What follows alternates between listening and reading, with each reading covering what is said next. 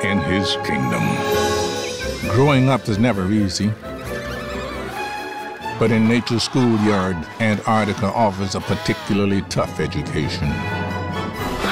Yet for the Emperor Penguin, the most uninhabitable place on Earth is called home. Marching far and away into the mysterious unknown, discovering love, embracing fatherhood, fighting for survival, searching for home. Forced through unforgiving yet mesmerizing landscapes, propelled by an ancient call to the sea.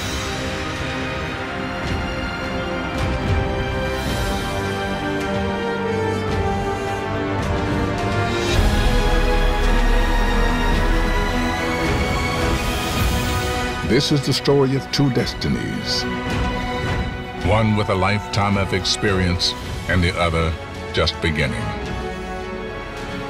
The old emperor gives way, and the story of a new emperor begins. March of the Penguins 2 The Next Step.